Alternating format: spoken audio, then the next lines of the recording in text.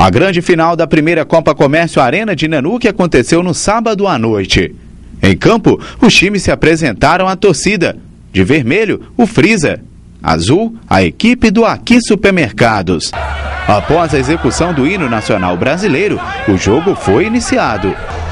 A equipe do Aqui logo mostrou superioridade e presenteou a torcida com vários gols. Ao fim, o time do Aqui venceu o Frisa por 6 a 1 e comemorou muito a vitória junto com a torcida.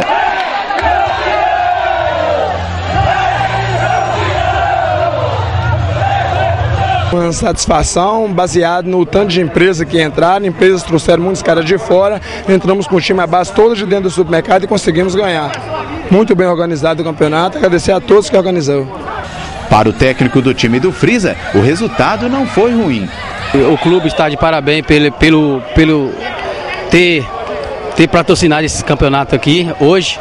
Nossas equipes estão de parabéns, porque tinha muita equipe aqui que tá, queria estar no nosso lugar. Os, os meus jogadores estão de parabéns. Espero que não pare por aqui esse campeonato e dá mais continuidade aqui na arena, porque nós estávamos muito precisando de um, local desse aqui. E por mais, e por mais isso, essa torcida aqui, que está de parabéns, essa torcida aqui está de parabéns pela, pela, pela festa que tem patrocinado aqui hoje. Foram 10 times e quase dois meses de competição. O organizador falou da ideia do evento. É, a primeira Copa Comércio, né, a Arena Nanuque, ela, ela surgiu de uma ideia dos proprietários, Glaucio e Arlice, de estar tá fazendo um campeonato aqui na Arena, até pela divulgação né, do espaço, porque muita gente não conhece. E me pediu algumas opiniões e tal, e nós fizemos uma comissão, né, eu, Paulo César, Rony, Felipe e Fabrício, nós fizemos uma comissão e a gente né, idealizou um campeonato com X equipes, pelo tempo que a gente tinha para fazer, só, só quarta e sábado.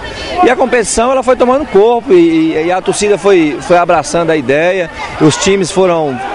É, é, tiveram uma competência muito grande. Todos os jogos, muito pouco WO, que seria, né, quando não vem jogar, muito pouco, acho que dois em vários campeonatos, em vários jogos que nós fizemos.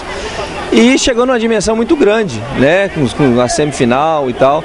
Para a gente foi uma experiência, para mim particularmente, foi uma experiência bacana, apesar de já ter participado no Pedra Negra e tudo, mas para mim foi uma experiência fantástica, né, de estar tá poder conviver com pessoas de, de, de, vários bairros, né, da nossa cidade, pessoas que eu nem conhecia que jogava bola, como tem o, o número 10 do aqui, que é o Leozinho, eu nunca vi o menino jogar bola e o menino destruiu aqui, foi artilheiro, melhor jogador. Então, assim, foi muito bacana a nossa iniciativa, o apoio que, que, que os proprietários nos deram, que todos os patrocinadores nos deram.